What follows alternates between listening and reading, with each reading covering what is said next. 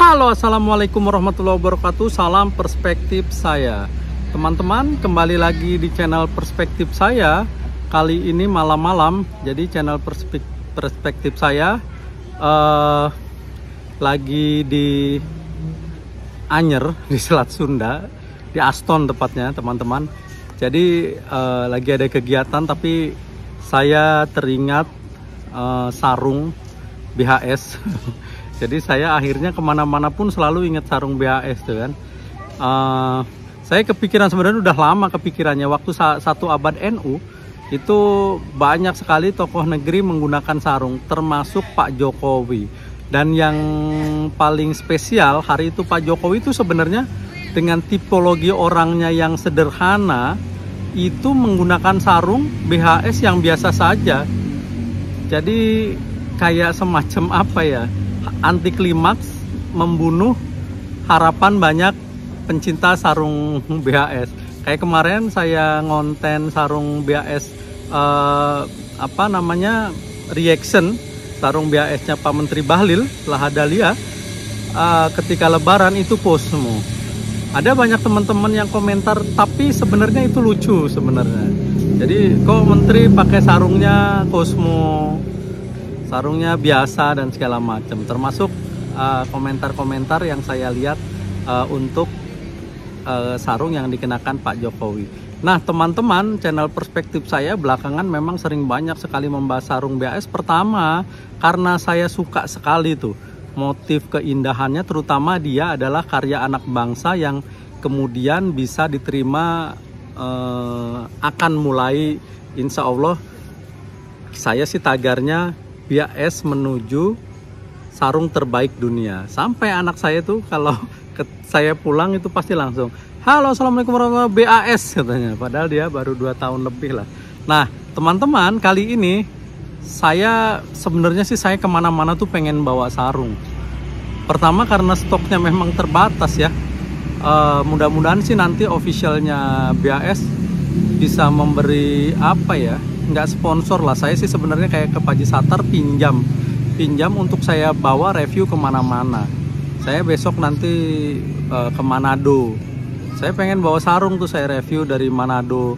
Dan pernah saya ngobrol dengan Mas Aldi keinginan saya bahwa saya pengen keliling dunia pakai sarung BAS tapi bawa naik mobil ya dari Indonesia keliling dunia mungkin berapa puluh negara saya kunjungin dan ngonten sarung BAS agak seru tuh Nah, kali ini saya akan reaction sarung BAS yang kepikiran di kepala saya dan udah lama kepikirannya. Sarung BAS yang dikenakan Pak Jokowi ketika satu abad Nahdlatul Ulama. Jadi ormas terbesar di dunia itu dengan hingar dengan hingar bingarnya menampilkan kemudian banyak sekali dengan karakteristik kulturalnya gitu ya. NU itu kan identik dengan uh, Islam kultural dan identik dengan sarung. Jadi warga NU yang puluhan juta itu di Indonesia uh, merupakan di satu sisi merupakan pasar segmented yang sangat bagus bagi sarung BHS karena rata-rata kiainya pakai sarung BHS. Nah teman-teman saya sih sebenarnya uh, mempunyai banyak sekali foto, cuman yang kurang jelas, yang kecil dan saya hanya memilih empat foto untuk saya coba reaction. Uh, dan saya butuh bantuan informasi kepada teman-teman subscriber. Biasanya saya tuh dikoreksi bahwa itu salah, termasuk pakai sarung saya. Saya tuh kalau pakai sarung biasanya juga dikoreksi oleh teman-teman itu salah begini dan begitu dan itu saya kira menambah informasi yang saya dapatkan mengenai sarung dan pengayaan materi saya tentang sarung itu kemudian agak komprehensif. Karena ada banyak sekali tipologi menggunakan sarung aja santri satu dengan santri yang lainnya berbeda. Ada berbagai macam uh, pilihan orang. Uh, jadi kebenaran itu sesungguhnya tidak mutlak. Karena ada orang-orang yang ingin menyembunyikan uh, mereknya. Uh, kayak kemarin Mas Aldi ngobrol bahwa diajarin oleh Abbas Satar dibalik mereknya yang di atas gitu kan ada yang memang disembunyikan ada yang memang uh, yang belakang terlihat, depan terlihat, tumpalannya BAS-nya terlihat, di depan uh, merek dan logonya terlihat. Ya berbagai macam uh, pilihan orang saya kira uh, dan itu terima kasih informasinya jadi komprehensif. Nah dari empat foto ini saya ambil yang kira-kira agak jelas dan agak memberikan informasi yang banyak. Satu foto kira-kira memberikan informasi uh, yang banyak. Pertama foto ketika Pak Jokowi memimpin upacara para banser. Nah ada ada Pak Menteri di sana.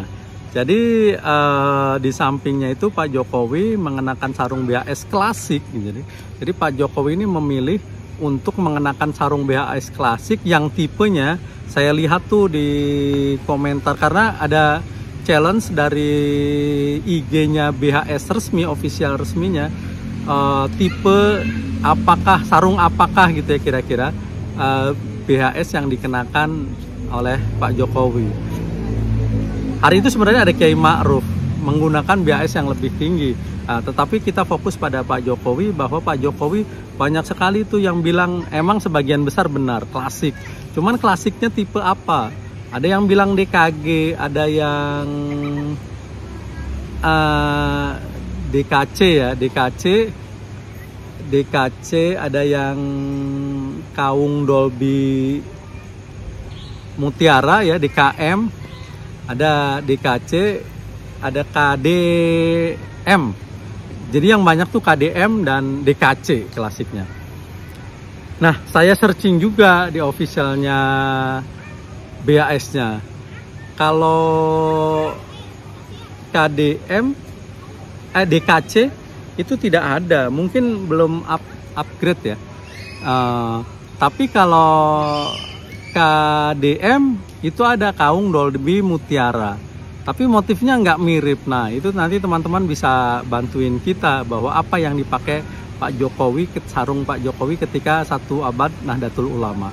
Nah, uh, atas dasar itu boleh teman-teman uh, memberikan informasinya sarung apa yang dikenakan Pak, Pak Jokowi. Kalau saya atas dasar searching kayaknya dia itu DKC memang.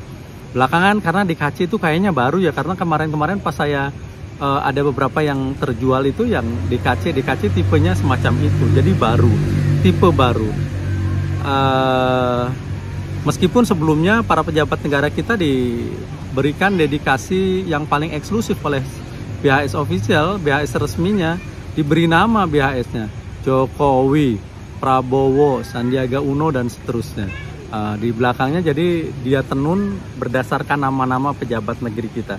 Nah yang pertama kembali lagi ada Pak Jokowi berdiri memimpin upacara teknis secara langsung ribuan banser terlihat mungkin jutaan uh, bersama ketua PBNU kita dan di depannya ada Pak Erick Thohir Menteri BUMN kita ya.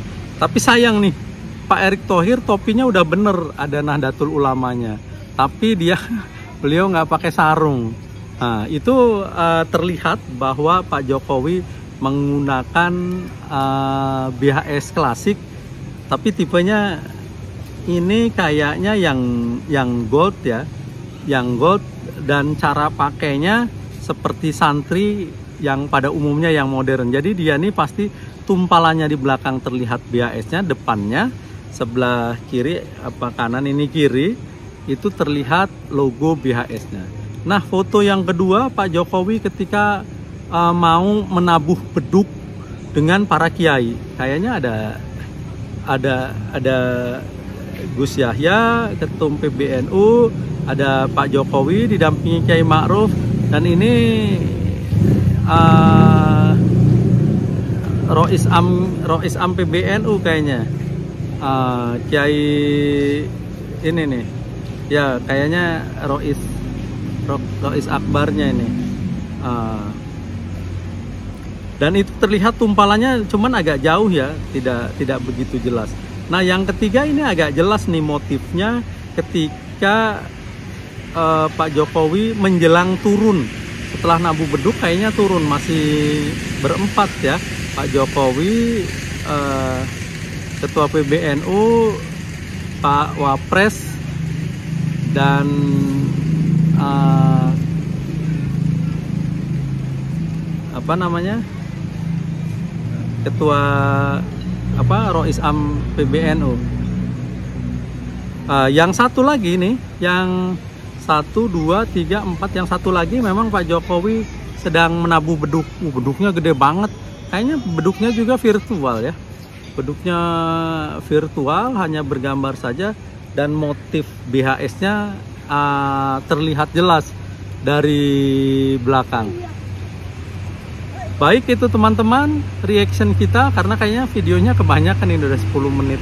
Uh, review bukan review, reaction terhadap sarung yang dipakai Pak Jokowi ketika satu abad NU. Jadi sarung BHS itu sebenarnya akhirnya pesannya nggak perlu mahal karena BHS itu sudah berkualitas, sudah branded, sudah istilahnya sudah bergengsi lah ya. Jadi bahkan Pak Presiden pun Pak Menteri menggunakan BHS yang di bawah tapi tetap indah dan tetap elegan ya.